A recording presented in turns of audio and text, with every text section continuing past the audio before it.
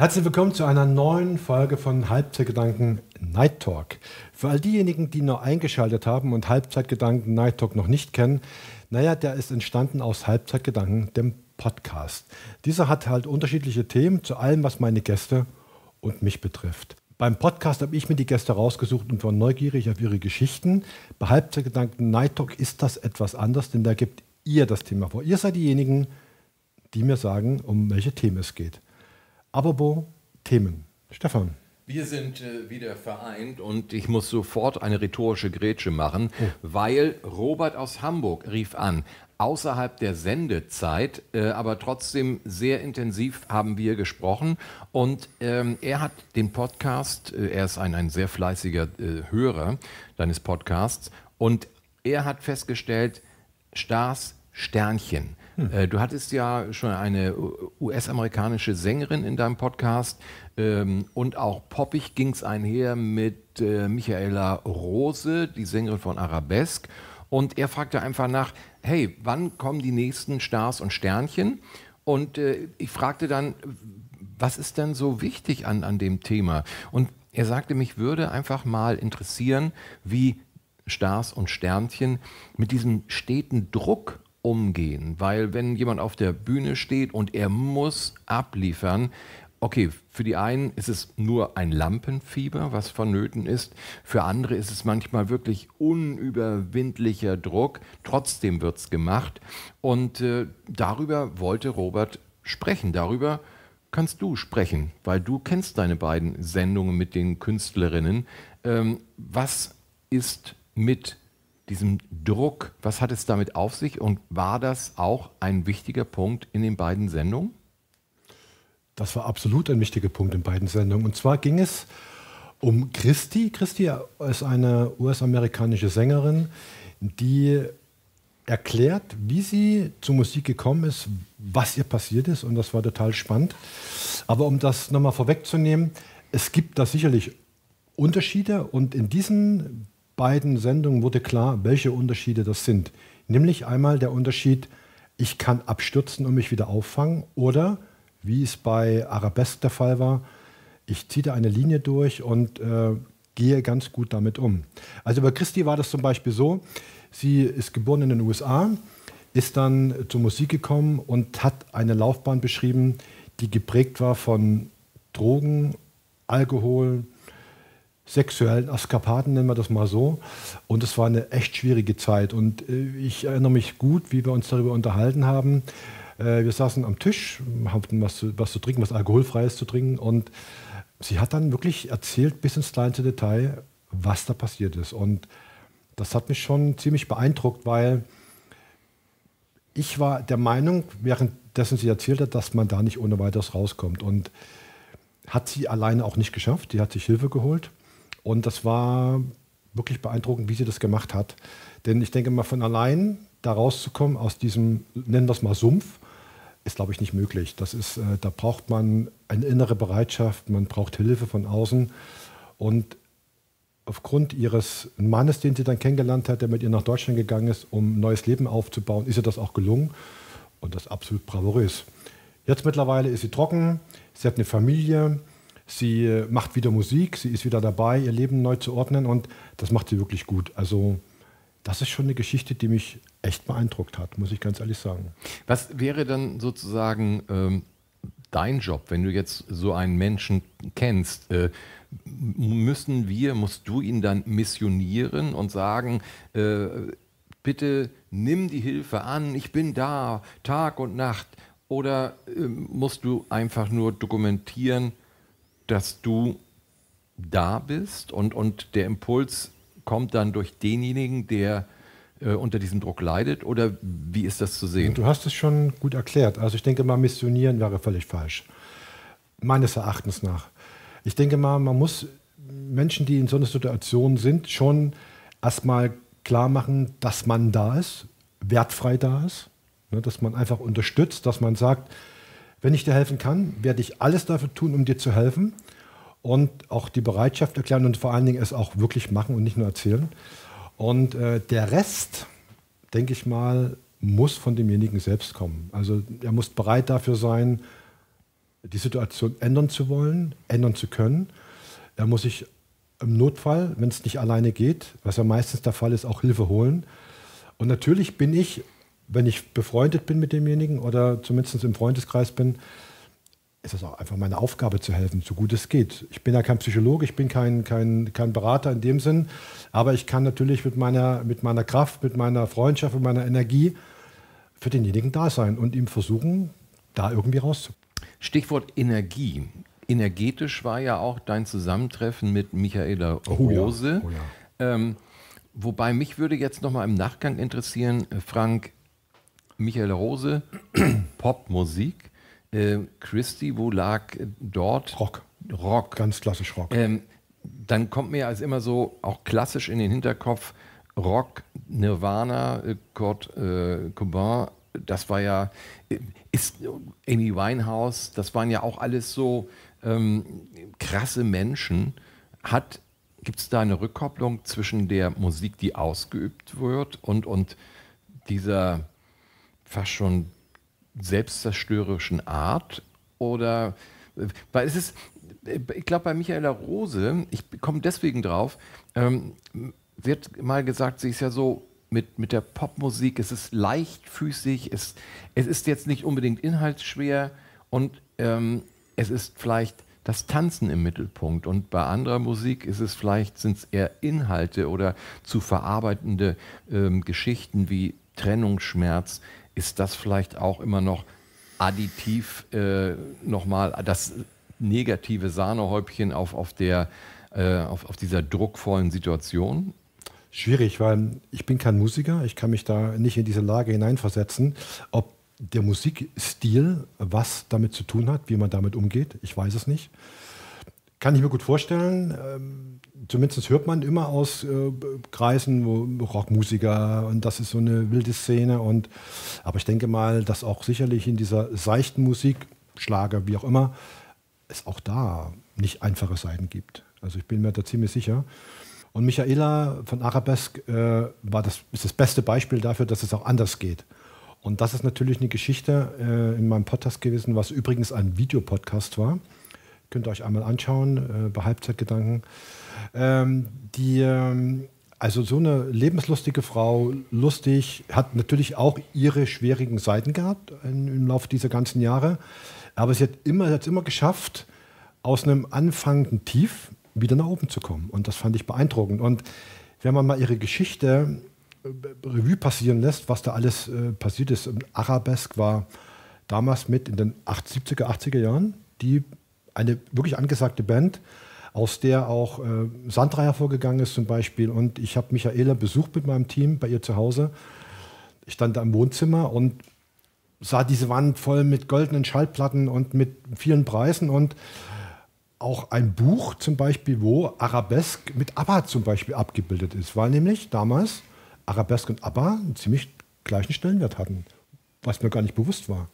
Und sie hat das erzählt mit einer Leichtigkeit, mit einer, einer, einer, einer Fröhlichkeit, mit ähm, Dinge, die, also die, ich gesagt habe, wow, so eine Geschichte kann man gehen. Und es ist auch bei ihr, auch wenn es so leicht rüberkommt, keine leichte Geschichte gewesen. Aber ich denke mal, und da gebe ich dir recht, Stefan, dass der Druck, in dieser Szene oder überhaupt in diesem Bereich, was, was Medien angeht, sei es nun Schauspieler, sei es Musiker, schon groß ist. Also man hat einen großen Erwartungsdruck, man muss gewisse Dinge erfüllen, man hat eigentlich kein Privatleben mehr.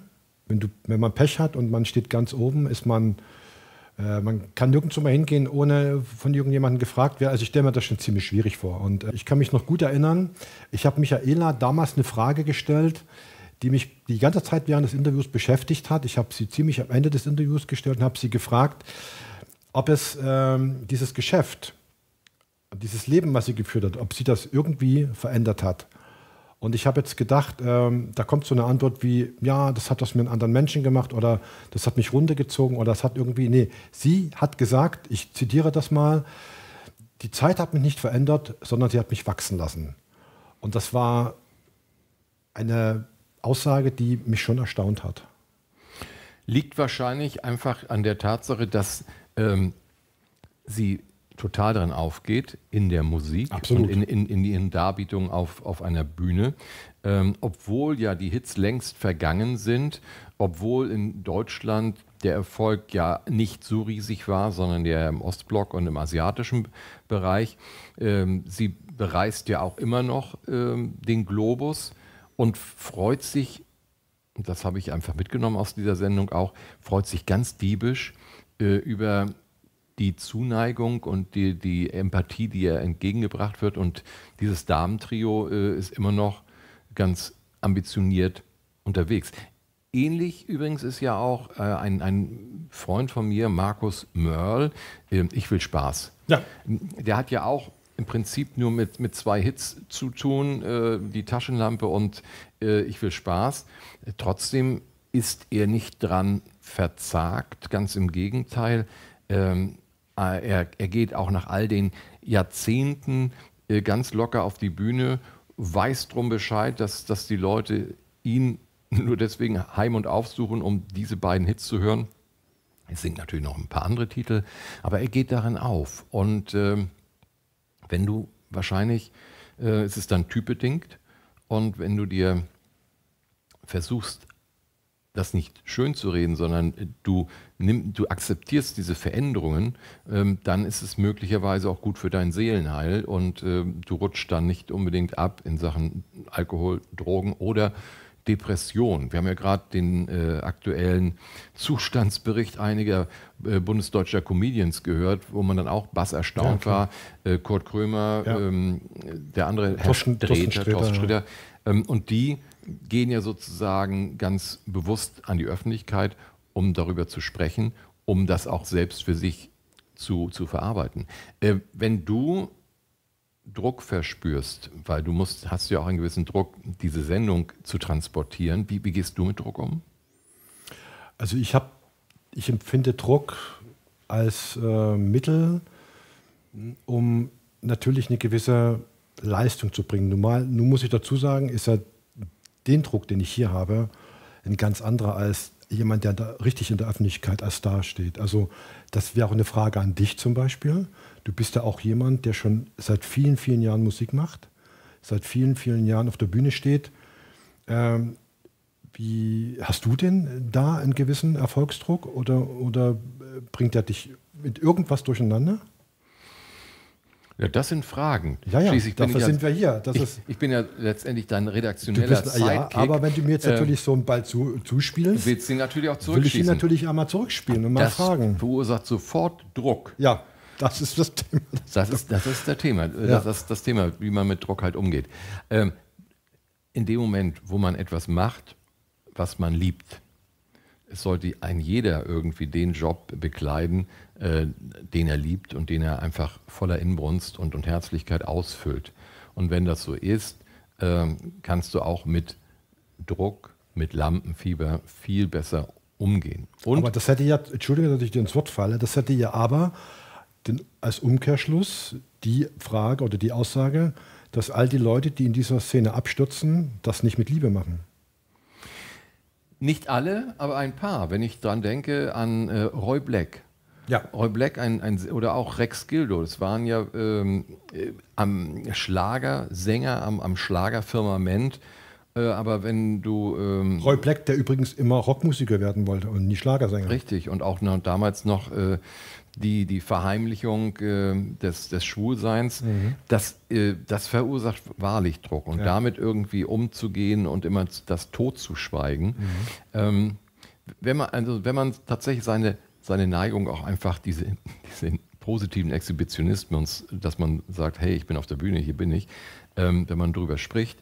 Und wenn man, wie gesagt, mit voller Leidenschaft das macht, dann kann man mit so einem Druck durchaus umgehen und dann ist die Gefahr relativ gering, irgendwo anzuhaken, zu straucheln, weil die Versuchung ist ja in, in jeder Branche groß, in unserer Branche noch größer. Mhm. Und da kommt es halt darauf an, in, welchen Kreisen man sich halt ähm, umgibt, ob man genauso offen wie auf der Bühne auch in seinem privaten Bereich einfach mal offen mit Freunden spricht. Und äh, wenn das nicht der Fall ist, dann gibt es ja deine Sendung ja. für die Leute, die dann keinen Ansprechpartner haben, keinen Gesprächspartner.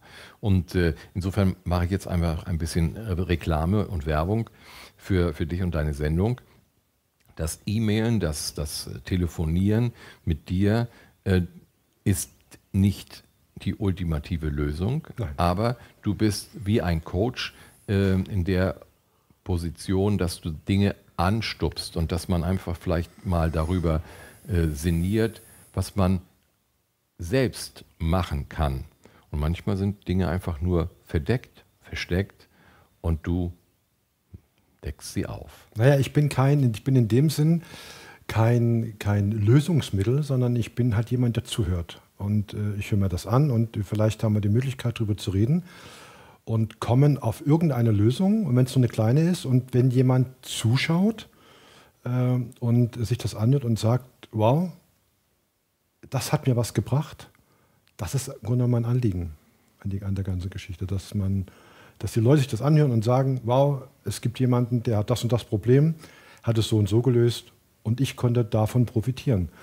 Und äh, das wäre natürlich mein Wunsch. Und das ist das, was Stefan auch schon sagte. Also wenn ihr jemand seid, der zum Beispiel auch in dieser Musikbranche unterwegs ist und da irgendwas beisteuern kann an, an wichtigen Infos, an vielleicht sogar an aus eigenen Erfahrungen erzählen kann, dann schreibt mir eine E-Mail, ruft an und dann reden wir drüber. Und ähm, da braucht es auch kein Lampenfieber. Hast du noch Lampenfieber, wenn du auf irgendwo hingehst? Immer. Immer? Immer. Was machst du dagegen? Gar nichts, weil Gar nicht. man, man äh, ist sehr aufmerksam und äh, man ist sehr nah bei der Sache, denn Lampenfieber erinnert einen immer, dass man sich konzentrieren muss. Aber Lampenfieber habe ich ja auch bei dieser Sendung. Äh, das kann schon mal dazu führen, dass man auf einmal alles vergisst, was man sagen wollte. Auch das passiert. Das passiert. Ja. Aber mittlerweile sagt die Uhr, wir haben es wieder geschafft. Ja, leider Gottes. Die Zeit vergeht immer so schnell. Mir bleibt nur Dankeschön zu sagen. Dankeschön an Stefan. Danke an mein Team. Danke an euch. Ich freue mich, wenn ihr das nächste Mal wieder mit dabei seid, wenn es heißt Halbzeitgedanken Night Talk.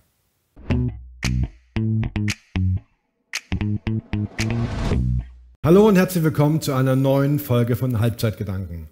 Heute wird es international, denn mein Gast kommt aus den USA. Sie ist da geboren und aufgewachsen und lebt mittlerweile in Twistringen in der Nähe von Bremen.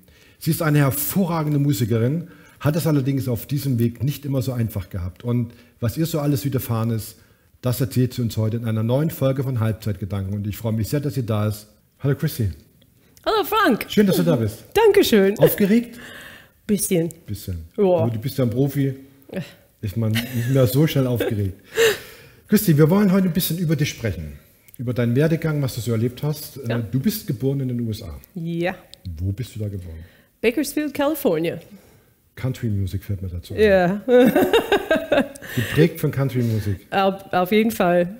Du bist an die Schule gegangen, ganz normal? Ja, ganz ja. normal. Ja. So nichts Besonderes, also Highschool. Was ist das für ein Schulsystem? Was ist da, was ist da angesagt? Oh, ja, ein bisschen anders. Ähm, ja, manchmal sagt man, äh, ach, in den USA Schule zu gehen, ja, so, äh, ja, was kannst du von ja, Highschool lernen. Ähm, es ist ganz anders als Gymnasium. Wir haben kein Latein oder sonst was. Also nur in die Pri Privatschulen kriegt okay. man sowas. Aber ähm, ja, ich habe genug gelernt, sage ich mal. Das, da kommen wir noch zu. haben, schon, haben wir uns ja schon im Vorfeld drüber unterhalten. Du bist, äh, du hast eigentlich eine vernünftige oder ziemlich vernünftige Kindheit gehabt.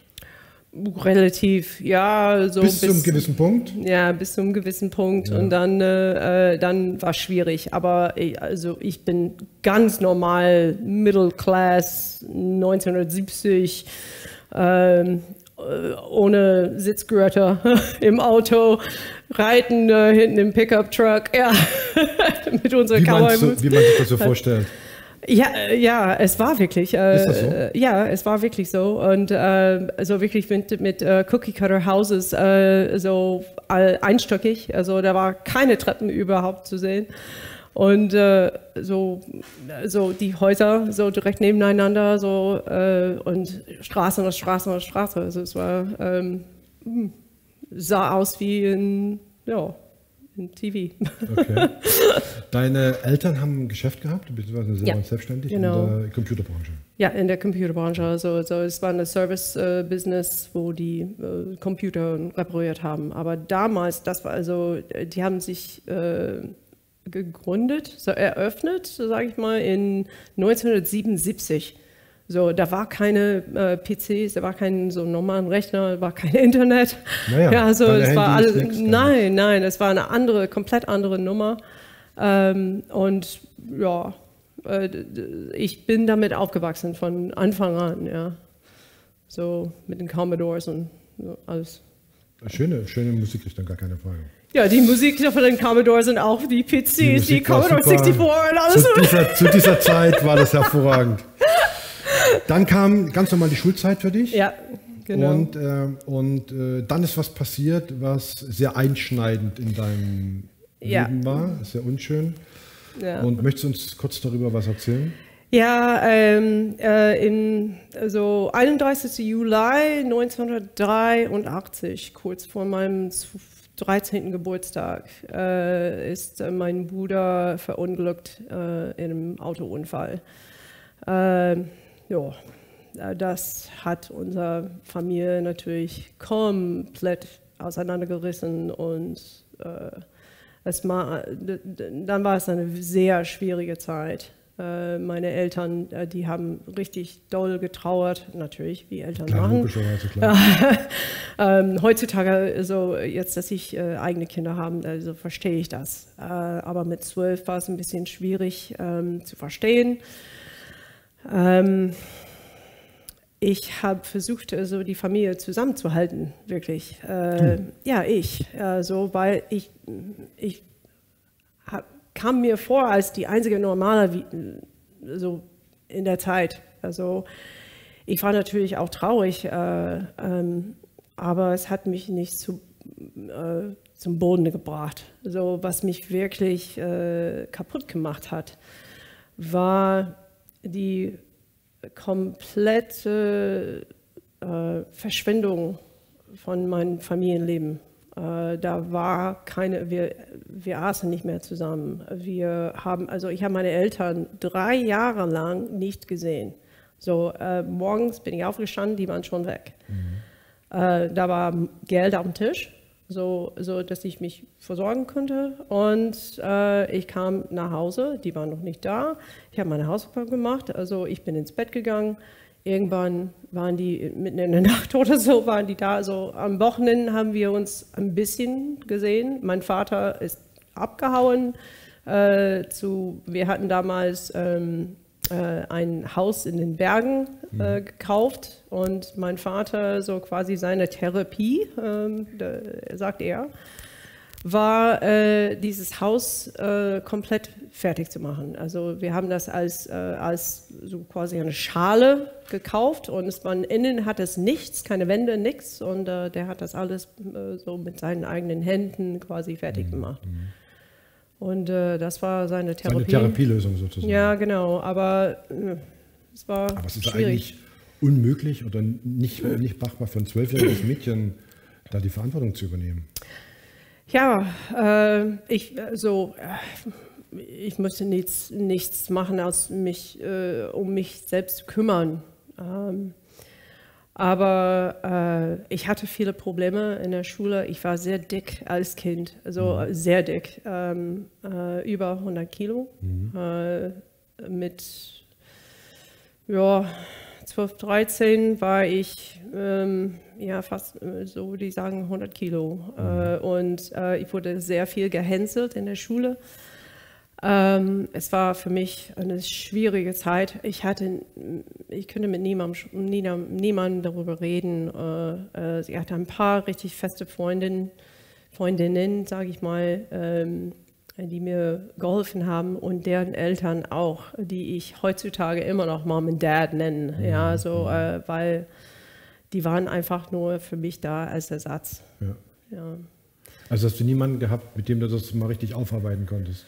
Also niemand äh, famili familiär. Ja, das war schwierig. Also ich hatte auch das Problem, dass äh, meine Großeltern, die waren sehr nah an meinem Bruder. Also mhm. äh, der Bruder, der gestorben ist, also ähm, äh, der war mein Halbbruder. Äh, aber mein Vater hat ihn adoptiert, sag ich mhm. mal. Mhm. Aber äh, die Familie, meine Mutter, ähm, die waren sehr nah mit meinem Bruder, weil er ist teilweise bei denen aufgewachsen. Die haben ihn als ihren eigenen Sohn quasi da zu Hause gehabt. Und ähm, ja, äh, ich habe die überhört äh, damals. Das hat mich sehr affektiert, äh, dass äh, die haben miteinander so die, die waren fest aneinander. Ich war im Haus äh, und meine Großmutter, die hat geheult äh, mit meinem Großvater zusammen. Also, und sie sagte, ich habe die gehört. Und sie sagte, warum hätte es nie Christy sein können? Mhm. Oh, warum, muss es, warum muss es Robert sein? Warum, ja. Ja, ja. Äh, ja das war hart. Ja, also so. da, da na, da, da fing wirklich an, die, die Wände hoch äh, aufzubauen. Ja, so, und ich lasse niemand rein. Ich habe damals, also ich, ich habe niemand reingelassen. Ja, so, äh, niemand wusste, wie ich war. So, ich war einfach stumpf. Okay. Ja, ganz hast du, oft hast du noch emotionslos. Ja. ja. Ja, also heutzutage, also ich kann, ich kann, ich kann auch äh, sehr glücklich berichten. Also ich habe ein super Verhältnis mit meinen Eltern heutzutage. Schön. Wir haben das alles durchgearbeitet, mhm. sage ich mal. Ich habe selbst da das äh, lange Jahre, äh, nach langen Jahren Therapie, das äh, durchgearbeitet und ähm, Konntest ja. du es da in den USA aufarbeiten oder hast du es erst hier gemacht?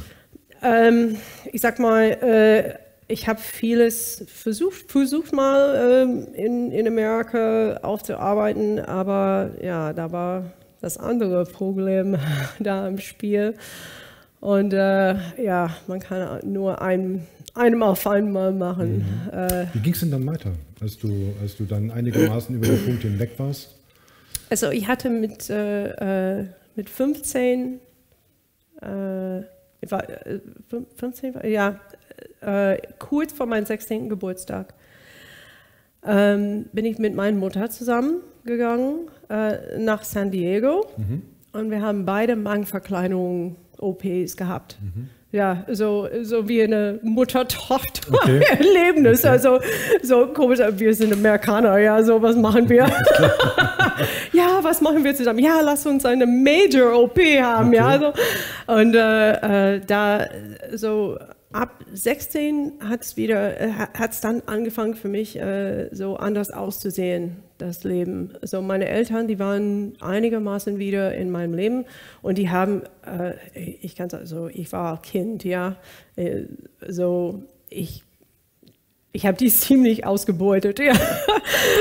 Ich hatte neue Autos. Okay. So, ich hatte mein, ich hatte, ähm, die haben mir mit 14 ein Motorrad gekauft. Ähm, und ich bin mit 14 so Motorrad überall gefahren, ähm, oh, weil die waren nicht da. Ja, so wie ich sagte. So also die, ohne Führerschein die, oder einfach so? Nein, gar nichts. Also, äh, aber in Amerika haben wir das nicht gebraucht. Ach so, okay. Also ich war legal, ja, es war okay. legal für mich, äh, aber ich könnte, also ich habe und ich habe das Ding auf der Autobahn, also in Amerika auf dem Freeway äh, auch genommen mit 14 so rumfahren. Wenn ich heutzutage darüber nachdenke, so meine Kinder mit 14 also fahren zu lassen, denke ich, ach, keine Chance. Ah, nee. Keine Chance. nee. Wahnsinn. Und ähm, äh, ja, so habe ich äh, ein Auto bekommen. Also da habe ich auch meinen Führerschein, meinen Papi-Führerschein, sage ich mal. Ja. Äh, dürfte noch nicht alleine fahren, habe ich trotzdem gemacht. Mhm. Ähm, und dann mit 16 äh, meinen Führerschein bekommen und dann war ich weg. Ja, so und äh, ich hatte auch. Weg heißt von zu Hause raus und. Nein, äh, also ich war so einfach, äh, ich könnte überall. Äh, Freiheit. Freiheit, ja, ich hatte Freiheit. Also und das und ich habe es auch benutzt. Ja. Okay. Obwohl, also in, ich verstehe das auch nicht. Also mein Bruder war in einem Autounfall aber da war überhaupt kein Problem anscheinend äh, für mich äh, so in Auto weiß man Verkehr denn, was, zu sein. Weißt, weißt du denn, äh, hast du jemals rausbekommen, was da genau passiert ist? Was dann zu dem Unfall geführt hat? Also, äh, ähm, die gehen davon aus, dass tatsächlich ein Problem mit dem Auto war. Okay. Äh, es war, er fuhr damals ähm, ein Mustang GT, mhm. so als die ganz neu waren. Also, und das war eine, es war nagelneu, also 83er ähm, Mustang GT. Mhm. Und äh, das also hat viel ähm, Horsepower, ja, so ganz viel PS. Mhm. Und, äh, und er war nicht ein langsamer Fahrer. Der war auch ein riesengroßer ja, okay, Mensch. Okay. Also äh, äh, der war fast zwei Meter groß, mhm. mit 18 äh, und in the Marines. Also der okay. war Militär. Mhm. Äh, und er ist am Wochenende weggefahren in, de, in Kings Canyon äh, in Kalifornien ähm, fürs Wochenende mit zwei Kumpels. Und äh, die waren äh, beide im Auto, äh, als de, der Unfall passiert, mhm. ähm, passiert ist. Also, und ähm, äh, eine ist tatsächlich rausgekommen nach hinten. Also der, das Auto, ähm, es waren so ganz viele S-Kurven, mhm. so in so eine Tal, durch ein Tal und äh, so, da war ein Fluss. Äh, und das war ähm, ungewöhnlich hoch, das Wasser. Äh, das, äh, es hat viel äh, geschneit in dem mhm. Jahr mhm. Und der Runoff kam. So, ja, das verstehe. hat geschmolzen mhm. und, ja, äh, und das Wasser war sehr, sehr hoch. Ähm,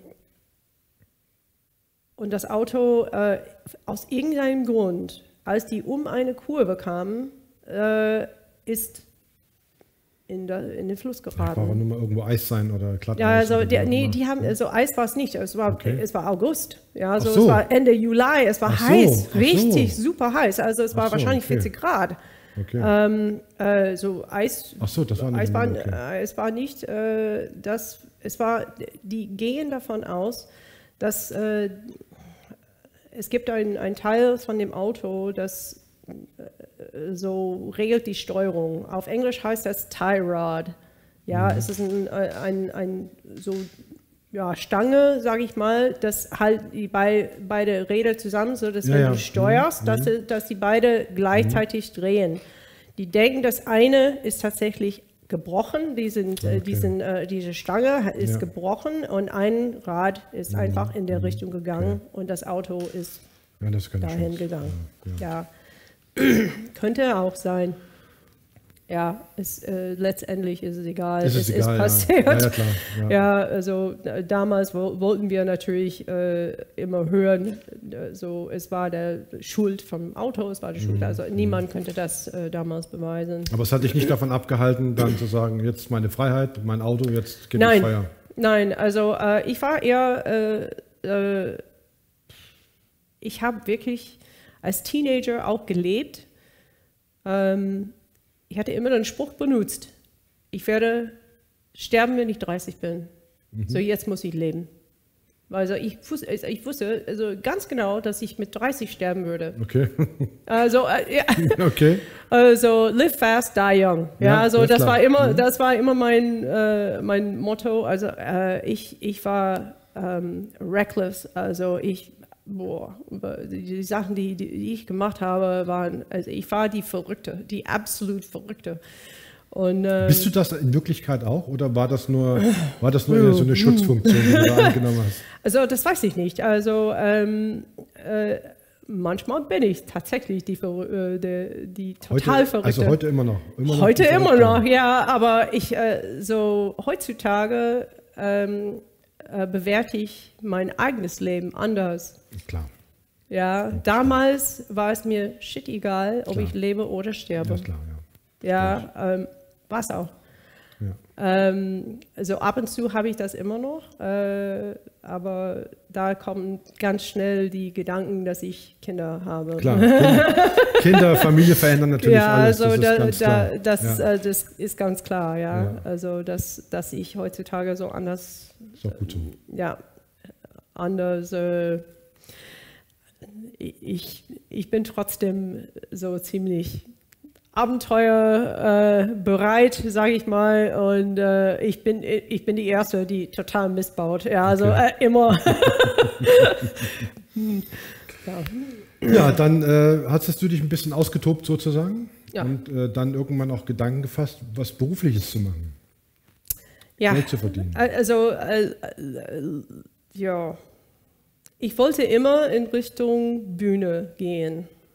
Ähm, habe es mir aber nie richtig getraut. Also ich würde ähm, ganz, ganz viel äh, als Kind ähm, gesagt, äh, ja, du bist dick, du bist hässlich, äh, du, also, du bist nie irgendwas. Ich hatte so, Selbstbewusstsein war gleich null, war wirklich ganz tief.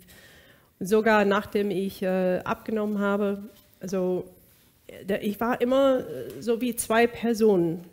Innen drin war ich so klein, richtig so klein. Und dann, wenn ich auf die Bühne war, da habe ich mich so groß gefühlt, ja, so und ich konnte alles, also und ich hatte überhaupt keine Angst, also irgendwas zu zeigen, ja, und ich wollte das zeigen. Aber wenn ich negative Kritik bekommen habe oder so, oh Mann, das war so scheiße und du siehst so furchtbar aus, da war ich am Boden. Ja, ich war wirklich am Boden zerstört. Also äh, da, da kämpfe ich damit heute, aber ich gehe anders damit um. Ja, also ich, wie ich sagte, so mein Bewertungssystem ist komplett anders geworden. Aber du bist nicht jemand, der von Haus aus äh, bei negativer Kritik zumacht? Oder Ähm. sagst du, negative Kritik kann ich gar nicht? Nee, also doch, doch, das kann ich. Es kommt darauf an, äh, so was die Quelle ist normalerweise. Äh, äh, drin. Aber du hast doch viele, viele krasse Geschichten gemacht. Also was ist krasse So, Geschichten? ja, gemacht? so mit So 14 habe ich ja genau, also Mögliche. genau, also ich habe als Kassiererin gearbeitet, eigentlich mehrmals. Also ich habe, ich war Delivery Driver, ich habe Mhm. für Pizza Hut äh, gearbeitet und äh, äh, mit 16 habe ich eine Lizenz gemacht als Manikurist. So, ich bin staatlich geprüfte Manik äh, Manikürist und Okay. äh, Fußpflege. Ja. So, also ich, das in Amerika, das habe ich in 86 äh, so absolviert. Ich dachte, ja, ich muss irgendwas machen, so, weil ich wollte studieren. Mhm. Ich wusste, dass ich studieren wollte, so, aber wusste nicht, was ich, Was? studien- wa- was ich machen wollte. Irgendwas studieren, Hauptsache studieren? Ja, Oder? ja. also das, das Lustige ist, also ähm, was ich wirklich ganz klar erinnere, so da waren zwei Sachen, die ich nie wollte. Nummer eins, ich wollte nie in Deutschland leben. Ich wollte in Europa. Ich sagte so, I'm going to Europe. I know I'm not going to live in America forever. Okay. Ja, so ich werde europäisch. Ja, das war oh großer Traum für einen kleinen Amerikaner. Ja. Ja. Ähm, und also Nummer eins, ich will in Europa leben, aber nicht in Deutschland. Okay. Und die andere war, ich werde nie mit Computern arbeiten. Ist ja beides hervor, hat ja beides gut funktioniert. ja, genau. Das ist herrlich. Ja, herrlich. So, äh, Warum nicht? Gab es einen Grund, warum nicht Deutschland? ähm, mein Vater war in Deutschland stationiert in Okay. der Air Force. Mhm. Okay. Der war in der Luftwaffe, Ja. so der Air Force in, in Amerika. Äh, also. Und er hat ganz viel über Deu- Deutschland gesprochen. Ähm, meine Großmutter, äh, die kam aus New York äh, und äh, da waren äh, zwei Sachen, die sie absolut nicht gemocht habe. Und eins war ähm, Italians Okay. und Germans. Okay. Die war aus Brooklyn in den 1920er. Die waren die zwei, also, und also die hat, oh, ich hasse diese Italiener und ich hasse diese, äh, diese Deutsche. Ja, so, so, der Deutsche waren gehasst. Mein, mein Vater war da, so, das war ein No-Go. Ja, äh, will nichts, ja, das mein Vater macht. Und äh, ja, Und du bist in Deutschland. Jetzt bin ich in Deutschland und ich bin IT-Professional. Tja, alles richtig gemacht. alles richtig gemacht. Ja, aber ich war Lighting Designer. Ich war in, in so meine, meine erste äh, Studium war tatsächlich äh, hinter der Bühne. Ich Was hab, heißt hinter der Bühne? Hinter der Bühne. Also ich habe äh, ich äh, Bühnenelektrik äh, gelernt mhm. und studiert. Mhm. Ähm, und auch äh, als, als wirklich Designer. Äh, so das ist eine renommierte privat, Geschichte. Eine ja, ja, Geschichte, ja, ja, also die, die, das ist eine geile Schule. Ja. Ähm, und da habe ich äh, mein Fach gewechselt auf Musik nach zweieinhalb Jahren. Mhm. Welche Richtung? Opern. Opern. ja. Wie kommt man von einem Lichtdesigner auf Operngesang? Ja, Musik hat mein ganzes Leben geprägt. Ja, also äh, ich habe ganz viel Musik gehört, aber meine Familie war auch musikalisch. Also mein Vater hat Klarinette gespielt, meine Mutter hat Flöte gespielt. Oh. Mein Vater war auch der Chorleiter äh, äh, bei der, äh, in der Kirche. Also ich war, so, ich war sehr religiös äh, aufgewachsen, bis mein Bruder gestorben ist. Und mhm. dann äh, sind wir aus der Kirche getreten und äh, war nicht mehr da. Mhm. Ähm, mein Vater war auch der, oh, also wie nennt man das, also der Drum Major also, also in, in Amerika krieg, hat man so ganz, ganz viele äh, Marschkapellen. Ja, ja, ja, ja das ganz vorne dabei ist. Hm. Und der ganz vorne mhm, dabei, genau. also davor, also ich, ich, boah, ich kann mich nicht mehr erinnern, wie die heißen. Mhm. Aber das war er. Und äh, ich kann mich immer noch erinnern, so, so diese Fotos von ihm. Also der stand da in den 50er Jahren, also, mhm. ja, so mit diesem großen Stab und so Uniform mit diesem Riesenhut. Genau, ja, ja. Ja, und äh, ähm, äh, so, ich dachte, oh, das möchte ich auch. Und ich habe tatsächlich mit sieben angefangen, Klavier zu spielen und mit acht Klarinette. Und äh, ich habe Klarinette gespielt, bis ich, also fast täglich, bis ich 17 war. Oh, also, also ich, äh, ich kann gut Klarinette spielen. Ja. Äh, ich habe auch aber andere Instrumenten äh, ausprobiert äh, und spielen wollte. Also ich spiele auch Saxophon, ich spiele Posaune. Ähm, äh, vor fünf Jahren äh, habe ich mir Gitarre beigebracht und jetzt habe ich Ukulele und so. Also ich, ich, ich sammle Instrumente im Moment mhm. und äh, es gefällt mir ganz gut. So, ich war zuerst in Band, mein ganzes Leben. So war immer ein Marching Band äh, in, in Amerika. Und dann war ich auch in der Highschool und habe auch, ich war auch im Chor. Mhm.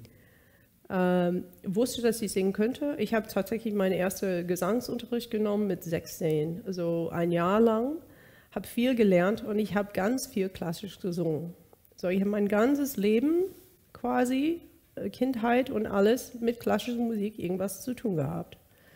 Opern war einfach so entweder ich gehe zur alten Musik oder ich gehe so in Gesangsrichtung, aber so in Gesangsrichtung muss man ein Fach wählen. Aber Oper ist ja noch mal eine Stufe obendrauf. Ja, und deswegen wollte ich das machen, weil ich dachte, das ist eine krasse Geschichte ja, ja. und das kann ich richtig. So, okay. da, das könnte so, boah, wäre es nicht geil, wenn ich sowas machen könnte. Es war wirklich jahrelang, habe ich äh, Gesang studiert, bevor äh, es Klick gemacht hat und ich plötzlich Oper, Opern singen könnte. Es war wirklich ein Klick. Ja, also äh, äh eines Tages plötzlich hatte Einfach ich, so? Ja. Also es war so, ich, ich würde deine, ich würde wahrscheinlich dein, dein, dein Mikrofon brechen, wenn ich. ja, ne.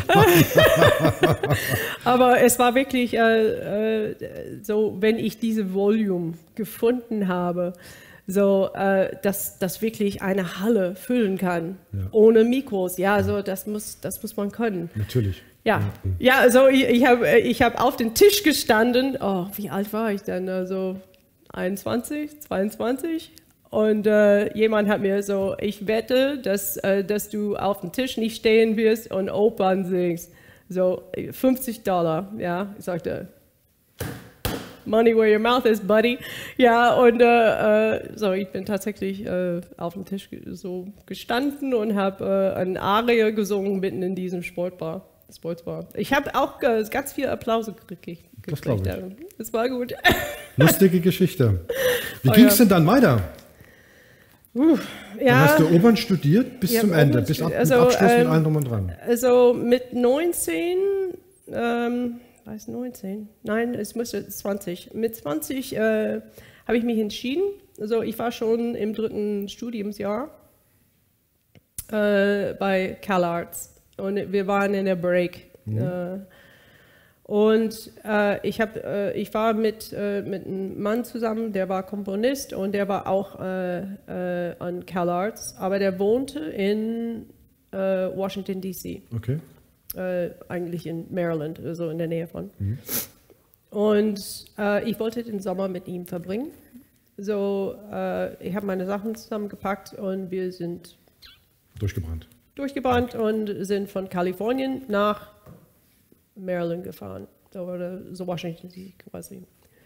Und äh, da war, äh, war ich den ganzen Sommer und hatte eine Gesangslehrerin da gefunden und sie sagte, du musst hier studieren, nicht da an der Westküste, so, äh, weil nichts ist los äh, in Gesang und Opern und so an der We Westküste.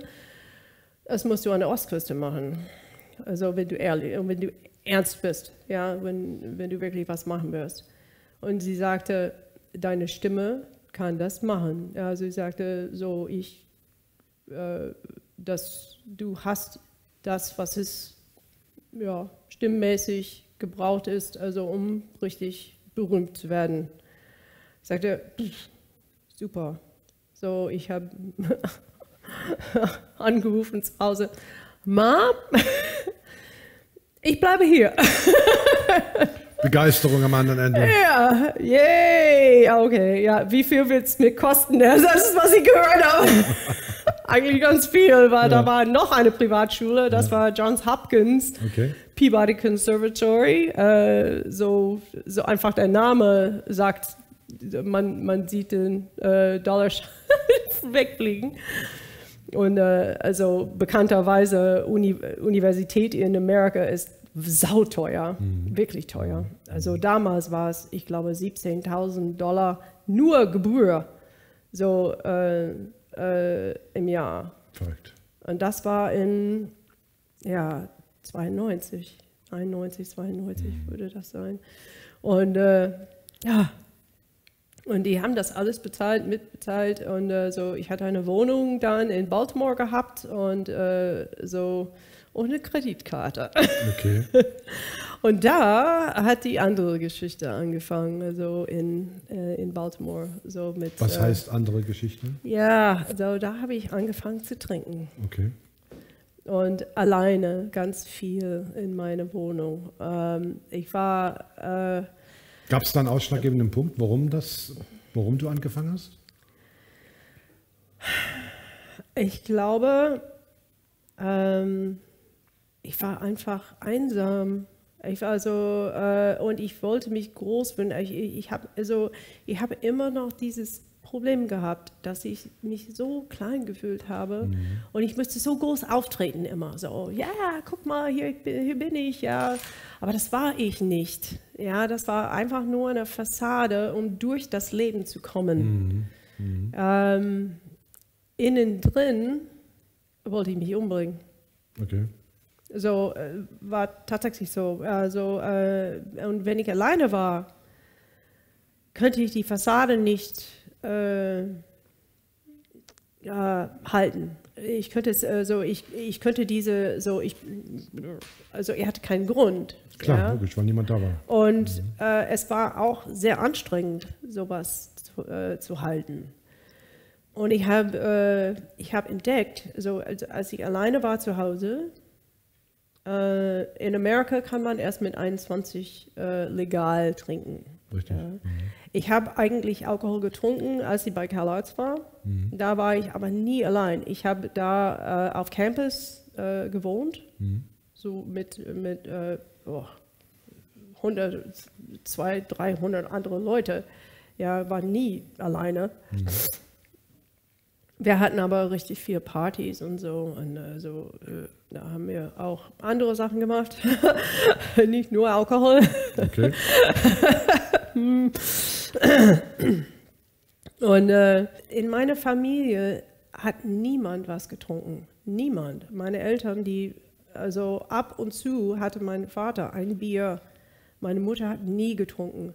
Das war äh, irgendwie aus religiösen Gründen auch nicht gut angesehen. Mhm.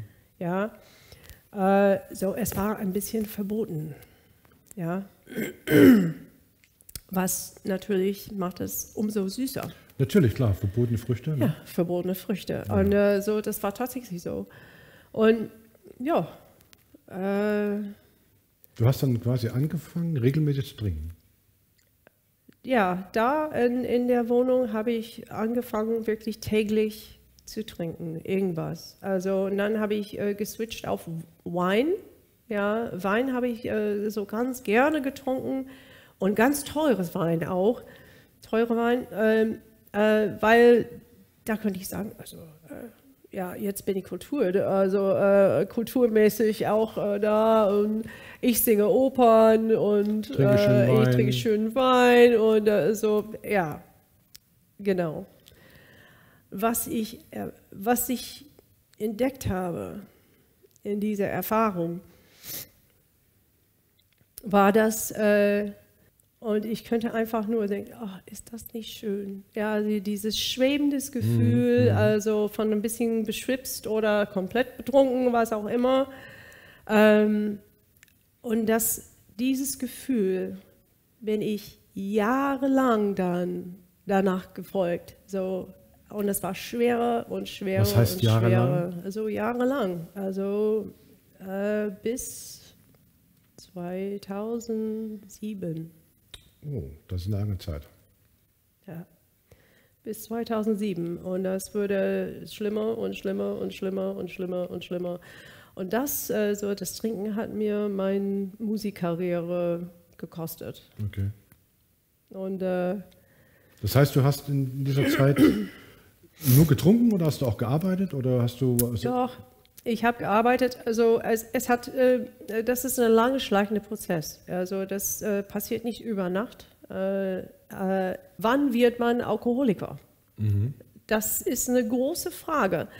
Und das habe ich ähm, lange Zeit, also ich war so ziemlich lange in, äh, in den anonymen Alkoholiker in Amerika äh, mehreren Jahren äh, versuchen, immer wieder, also Rückfall nach Rückfall nach Rückfall. Also, und das war immer die große Frage und die große, ähm, so, wann wird man Alkoholiker? Hast du die Antwort bekommen? Nein.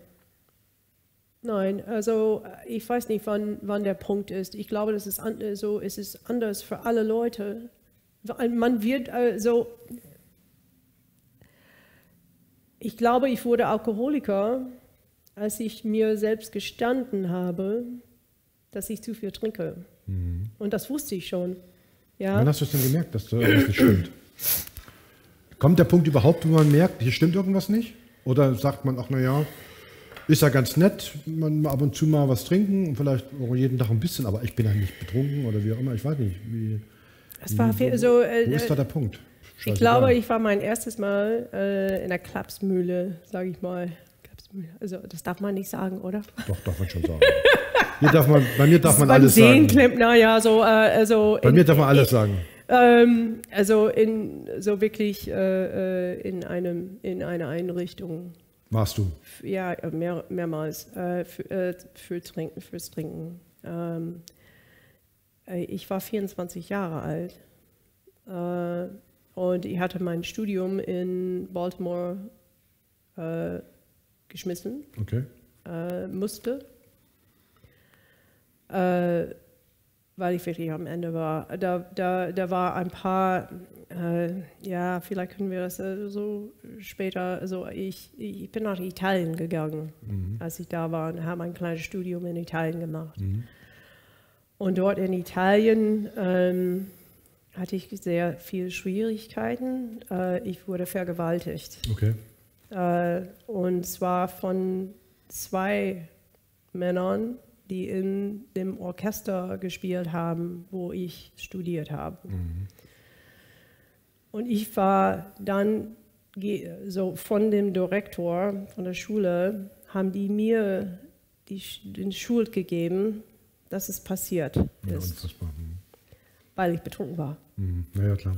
Mhm. Ja, also ich, also, und, aber das, äh, es, das hat sehr lange gedauert, bevor ich das ähm, durch meinen Kopf gekriegt habe. Gab's da, hast du irgendwie äh, für die Konsequenzen durchziehen können? Nein. Nein. Nein, ich habe ich hab die Konsequenzen bekommen. Ja, klar, ja. getragen, ja. Äh, ich war dann ein Pariah, also niemand, also äh, niemand hat mehr hat mit mir ge gesprochen. Ja, also die, die, die, restliche Zeit in Italien war mhm. einfach nur grausam. Mhm. Und ich kam wieder nach Hause und habe versucht, mal zu, das zu überspielen, diesen Schmerzen zu überspielen, äh, wie in, in den Rest meines Lebens. Äh, ähm, mit Auftreten, mit Großsein äh, und auch mit Alkohol. Was, ähm, gibt es da? War unmöglich. Irgendwann ist Schluss. Kann man sich das, äh, ich habe da jetzt keine große Vorstellung, wenn du sagst mit Alkohol, was hast du getrunken? Gibt's eine, hast du da eine Mengenangabe oder kann man sagen, ich habe eine, eine Flasche Wein am Tag getrunken pro Tag oder wie, wie muss man sich das vorstellen? Also das, äh, das hat sich versteigert. Ja, so ähm, am Anfang äh, hat es nicht viel gebraucht, also nicht so viel. Ja, also ich könnte so zwei, drei, vier äh, Biere trinken und äh, eine halbe Flasche Wodka oder sowas. also das ist eigentlich wenig. Ja, und äh, was äh, und je länger du trinkst, desto mehr braucht dein Körper, mhm. um überhaupt was zu, zu spüren äh, von dem Alkohol. Äh, und irgendwann, es ist ganz krass und ganz, ganz gemein, äh, irgendwann kriegt man das Gefühl nicht mehr. Irgendwann dieses so. schwebende Gefühl okay. existiert nicht mehr. Es okay. ist einfach, es ist, äh, das, du, du bist so und dann hast du deinen Pegel erreicht, okay, ich bin normal. Und es war tatsächlich so, dass ähm, also am Ende meines Trinkkarriers, sage ich mal, ähm, dass ich müsste äh, was trinken, um überhaupt zu arbeiten oder überhaupt zu fahren. Ich könnte nicht mal fahren, ohne erstmal trinken zu müssen. Also Wahnsinn. stell dir vor, ja, ich bin wie, wie viele Jahre rumgefahren, total lit, ja. Hat das nie jemand mitgekriegt? Nein, wurde nie erwischt, nie. Ähm, so, ich wurde tatsächlich von der Polizei einmal äh, äh kontrolliert nichts für Alkohol, weil ich keinen Sitzgurt anhatte. Mhm, mhm, aber ich war total blotto. Also ich war blau wie sonst was. die, die haben ja, die, die haben es nicht gemerkt. Die okay. haben es nicht gerochen, nicht gemerkt. Ja, so, ich habe viel Wodka getrunken, weil wegen, wegen der, äh, ja, keine Fahne, also wenig. Mhm. Hast du nie das Gefühl gehabt, du musst dir jetzt Hilfe holen? Hast du nie diesen Moment gehabt, wo du sagst, jetzt muss ich mir Hilfe holen, ich schaffe das nicht alleine? Ja, Aber öfter. Öfter. Öfter, ja. Also, hast du dir auch geholt dann? Oder hast du es nur gedacht und es nicht gemacht? nö, nö. Also äh, ich habe tatsächlich, also wie gesagt, ich war mehrmals äh, in, äh, in Einrichtungen, sage ich mal. Ähm, in Amerika haben wir keine Langzeittherapie äh, okay. und es ist sehr teuer. Ich war am längsten in Amerika, äh, ich glaube, 10 oder 14 Tagen. Äh, mhm. in, ja, das ist ja nichts. Und ja, das ist nichts. Und äh, die damals haben die äh, alle Leute zusammengetan, äh, so die total richtig äh, psychotische Menschen, so mit, mit richtig sehr, sehr starke ähm, ja, Psychose. Mhm. Und die Alkoholiker, die haben die alles zusammengestellt. Ja, also und äh, so und auch die, äh, die äh, Drogenabhängige. Also äh, wir waren alle zusammen in einer Gruppe. Hervorragend. Super. Ja, super. Ja, äh, und auch so die, die, die Therapeuten drin waren nicht spezialisiert ähm, auf äh, Abhängigkeit, auf Sucht. Mhm. Ja, mhm. Und das habe ich später hier in Deutschland äh, so anders erlebt. Also ich war nie in Deutschland, also musste nie in Deutschland so in, in, in irgendeine Klinik okay. gehen. Also ich war schon trocken, als okay. ich nach Deutschland kam. Aber gerade, ja. So. Wie hast du es geschafft? Ja, ähm, das war, eine, also wie ich sagte, so eine lange hässliche Geschichte. So ganz viel passiert dazwischen. Wie viele Jahre ging das insgesamt? Was, äh, Diese 15, Alkoholsucht? 15 Jahre. 15 Jahre. Macht das der Körper das komplett mit? Macht er da nicht irgendwann mal Schnapp? Ja, ganz oft. Logisch. Nicht, äh, das wäre jetzt meine Frage gewesen, wie lange ja. das gut geht, ja. Ja, und ich hatte so fünf oder sechs verschiedene Jobs dann, also äh, als IT-Person ähm, und auch mit ne, so einem Resümee äh, ist das einfach, einen Job zu finden. Und es ist auch üblich für eine IT-Person, äh, so ganz viel zu, äh, zu wechseln so hop von ein, einem Projekt bis zum anderen. Also, also dann nennt man sich Consultant.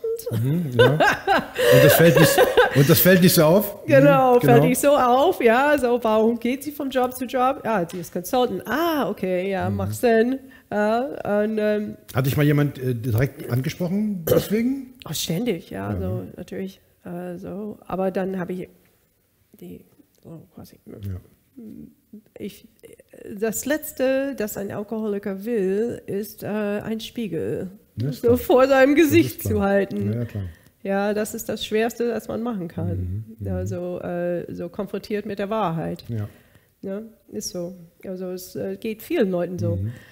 Ähm, tja, aber irgendwann ist Schluss. Äh, und ähm, ich war wirklich äh, quasi am Ende äh, in 2006, oh, Ende 2006, Anfang 2007. Ähm, ich war zwei Jahre clean. Zwei oh. Jahre habe ich geschafft, als ich äh, da in Chicago war, so äh, mit, mit, mit Hilfe von, von anonymen Alkoholiker. Also, also ich hatte eine tolle Gruppe, jeden Tag Meetings, jeden Tag so, äh, so war ich immer mit diesen Leuten zusammen. Und dann habe ich was Doofes gemacht. Also ich war schon äh, getrennt von meinem Mann. Also wir, wir waren noch verheiratet, mhm. aber wir waren lange getrennt. Mhm. Ähm, ja, ich habe einen Freund gekriegt. Einen neuen Freund. Und äh, dieser neue Freund, der war auch Musiker. Also der war Boogie Boogie Woogie Piano Player, ja, also okay. der Klavier ja, gespielt hat. Ja. Also geile Klavierspieler, ja, so, ähm, ja, ist so. Und ähm, ja, äh, ja. er war auch, ja, ich habe mich verliebt, also und äh, wie Alkoholiker das machen, also er war auch ähm, Alkoholiker, aber auch trocken, mhm. so wie, wie es ist. Also wir haben zusammen äh, gelebt und ziemlich lange mhm. äh, äh, fast ein Jahr. Und dann irgendwann hat er einen Rückfall gehabt und äh, fing an zu trinken. Also ich, ich hatte nicht genug äh, Selbstbewusstsein. Hat dich mitgerissen mal. quasi. Hat ja, hat mich mitgerissen. Also ich sagte, wenn er trinkt, dann trinke ich auch. Ja, das ist natürlich ätzend, ja. Und dann, äh, ähm, es ging so mit uns vielleicht äh, drei Monate, drei, vier Monate und irgendwann äh, in eine betrunkene, so hm, Rausch, betrunkenen Rausch, ähm, hat er meinen Arm gebrochen. Mhm. Äh, und schlimm, mhm. richtig schlimm. Mhm. Drei, dreifacher Bruch, äh, Spiralbruch. Äh, mhm. er war sehr, sehr stark und er hat einfach meinen Arm mhm. so, mhm. so gemacht. Ich wusste es nicht, dass es gebrochen war. Ähm, ich wusste, dass es weh tat, aber ich war so dicht. Also ähm, selbst wusste das nicht. Ich bin tatsächlich jeden Tag zur Arbeit gefahren für, ja, ich weiß nicht, vier, fünf Tage oder so und merkte irgendwann, mein Arm wird schwarz. und irgendwann, also äh, ich war ich war damals äh, Network Administrator mhm. und die, wir hatten diese riesengroße ähm, Rohrmonitoren. Kannst mhm. du dich erinnern, bevor ja, die, die, die schöne Flatscreens, ja? ja. so, wir, und, und äh, ja, und 17 Zoll, um Gottes Willen, die waren so groß, mhm. ja. Und die haben so viel gewogen. Äh, so, und ich habe eins, äh, so versucht mal eins zu, zu, heben. Und mein Arm ist in der Mitte geknickt. Und eine Sekretärin ist fast in Ohnmacht gefallen und sagte, Pascal, ja, so, du musst in, zum Krankenhaus. Bin ich tatsächlich ins Krankenhaus gegangen. So, die OP kostete 80.000 Dollar. 80.000 Dollar damals. Mhm. Ja, zum Glück oder nicht zum Glück, äh, in dem Krankenhaus arbeitete eine Freundin von mir aus anonymer Alkoholiker, mhm, kannten uns und sie hat gesagt, das hat er gemacht, ja. auf jeden Fall. Ja. Und also bevor die Polizei bei mir waren, die waren bei uns ja, zu Hause klar. und die hatten ihn schon äh, mhm. weggenommen. Also der war schon weg. Mhm. Und äh, was macht eine Alkoholikerin, die in äh, so Krankenhaus liegt, wurde von, äh, von einem vollen Arm gebrochen und äh, also liegt da, ja. Ich habe geheult, ich habe geheult ihm nach, ja, so, oh nein, oh nein, das kannst du nicht machen, ja, ja, aber ich liebe ihn, ja, so, ja, so typisch, mhm. typisch, äh, ja, Geschichte. Okay. Äh, es, es war echt hässlich. Ja. Aber da kam echt ein, äh, ein Drehpunkt, als sie im Krankenhaus war. Und lustigerweise, also das, äh, das äh, hängt zusammen mit äh, quasi äh, dem nächsten Abschnitt. Wie habe ich meinen Mann kennengelernt? Mhm. Also warum bin ich nach Deutschland gekommen? Ja, also wir haben zusammengearbeitet bei dieser Firma in Chicago, okay. Wo ich äh, am letzten war, so, äh, als ich im Krankenhaus war. Das war ein Shishi-Krankenhaus, also so richtig schick, schickimicki äh, Krankenhaus, schickimicki mhm. Krankenhaus mhm. äh, on the North Shore von Chicago, okay. ja, also in der Nähe von wo, wo Oprah Winfrey wohnt, ja. Okay. Ähm, ja, so diese, äh, äh, dieser Chirurg kam zu mir und er war richtig gut. Also er hat meinen Arm äh, äh, gerettet. Also mhm. die haben gedacht, dass sie das amputieren müssen. und also ich habe voll Bewegung heutzutage, also mhm. fast, fast voll. Er kam zu mir und er hat mich angeguckt. Ähm, und er sagte, ich habe mein Talent an dich ver, ver, äh, so ver, verschwunden. Verschwendet. Mhm. Verschwendet, ja, verschwendet, Boah, das danke. Ist aber, das ist aber heftig, ne? Ja, er sagte, du bist ein absolut Nichts. Ja, du bist sowieso in einem Jahr tot. Das ist ja nett von einem Arzt. Fünf Tage bei im Krankenhaus mhm. und kein Alkohol.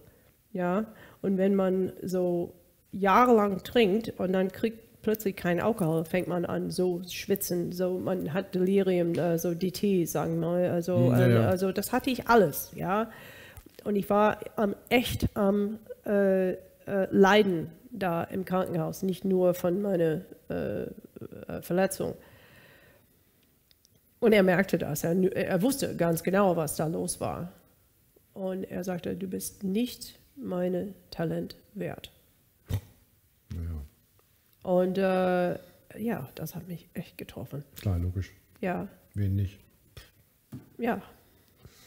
Und äh, das, ist, äh, das war die Zeit, ähm, als ich endlich entschieden habe, als ich zu Hause war, das äh, so spielte immer wieder wie ein Video in meinem Kopf. Ja.